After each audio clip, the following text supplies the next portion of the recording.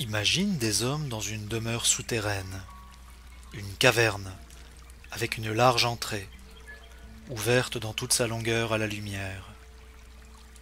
Ils sont là, les jambes et le cou enchaînés depuis leur enfance, de sorte qu'ils sont immobiles et ne regardent que ce qui est devant eux, leur chaîne les empêchant de tourner la tête.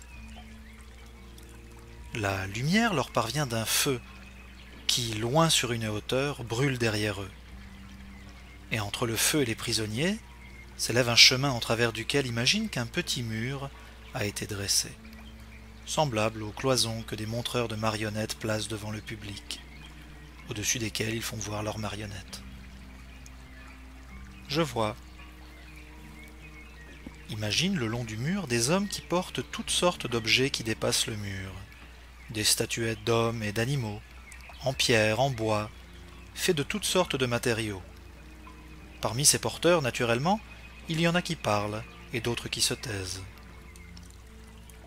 Voilà un étrange tableau et d'étranges prisonniers. Ils nous ressemblent. Penses-tu que de tels hommes aient vu de même autre chose que les ombres projetées par le feu sur la paroi de la caverne qui leur fait face? Comment cela se pourrait-il en effet s'ils sont forcés de tenir la tête immobile pendant toute leur vie? Et pour les objets qui sont portés le long du mur, est-ce qu'il n'en sera pas de même? Bien sûr. Mais dans ces conditions, s'ils pouvaient se parler les uns aux autres, ne penses-tu pas qu'ils croiraient nommer les objets réels eux-mêmes en nommant ce qu'ils voient? Nécessairement. Et s'il y avait aussi dans la prison un écho que leur renverrait la paroi qui leur fait face? Chaque fois que l'un de ceux qui se trouvent derrière le mur parlerait, croirait-il entendre une autre voix, à ton avis, que celle de l'ombre qui passe devant eux? Ma foi non. Non, de tels hommes ne penseraient absolument pas que la véritable réalité puisse être autre chose que les ombres des objets fabriqués. De toute nécessité. Envisage maintenant ce qu'ils ressentiraient à être délivrés de leur chaîne et à être guéris de leur ignorance, si cela leur arrivait tout naturellement comme suit.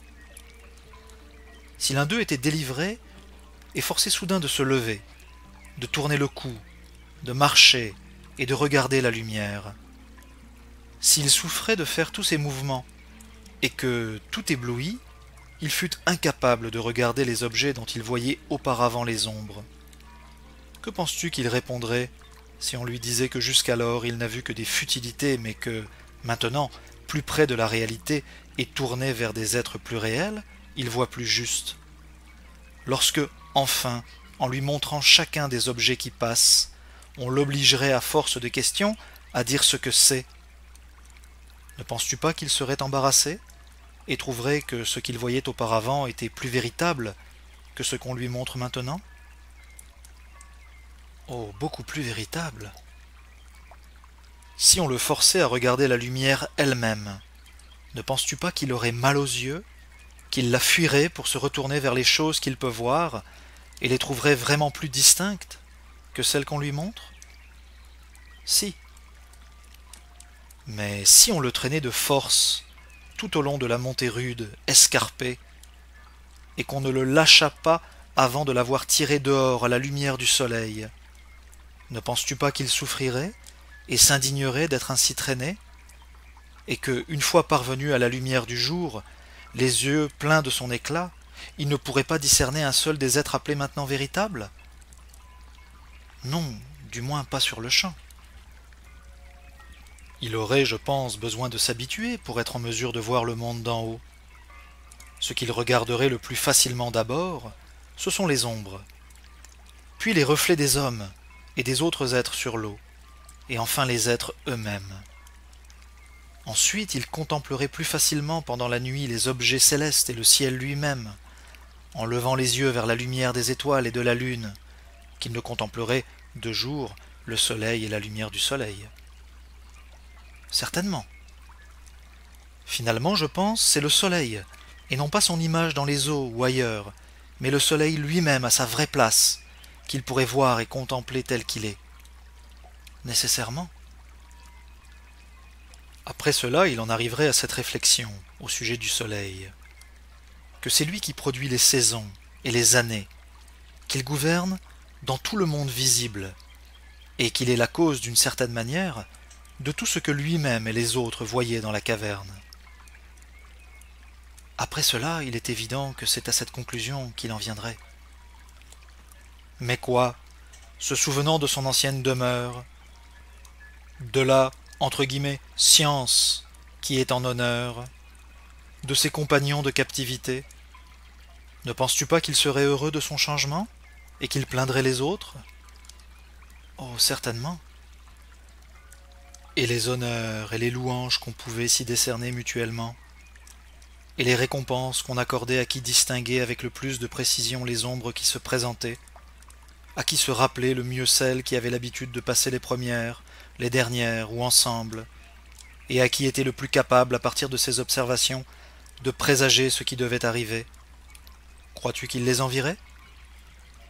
Crois-tu qu'il serait jaloux de ceux qui ont acquis honneur et puissance auprès des autres, et ne préférerait-il pas de loin endurer ce que dit Homère? Être un valet de ferme au service d'un paysan pauvre, plutôt que de partager les opinions de là-bas et de vivre comme on y vivait? Oui, je pense qu'il accepterait de tout endurer plutôt que de vivre comme il vivait. Et réfléchis à ceci. Si un tel homme redescend et se rassied à la même place, est-ce qu'il n'aurait pas les yeux offusqués par l'obscurité en venant brusquement du soleil? Si, tout à fait. Et s'il lui fallait à nouveau donner son jugement sur les ombres, et rivaliser avec ces hommes qui ont toujours été enchaînés, au moment où sa vue est trouble, avant que ses yeux soient remis, cette réaccoutumance exigeant un certain délai, ne prêterait-il pas à rire? Ne dirait-on pas à son propos que pour être monté là-haut, il en est revenu les yeux abîmés, et qu'il ne vaut même pas la peine d'essayer d'y monter? Et celui qui tenterait de les délivrer et de les emmener là-haut, celui-là, s'il pouvait s'en emparer et le tuer, ne le tuerait-il pas?